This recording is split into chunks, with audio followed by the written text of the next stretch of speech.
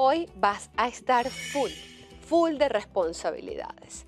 Te vas a sentir saturado. Pago aquí, pago allá, estoy trabajando, el tiempo no me alcanza, tengo cualquier cantidad de situaciones o complicaciones que no he podido como comenzar. Y abono y abono y abono dinero y nunca se acaban las deudas. Y eso hoy te puede aturdir bastante, pues las cartas me dicen que estás mirando para el lado incorrecto, que hay una situación allí en la que tú necesitas voltear a ver otras opciones si eres del signo de cáncer y no quedarte como muy pegado solamente en esta situación, en este bloqueo o en esta queja.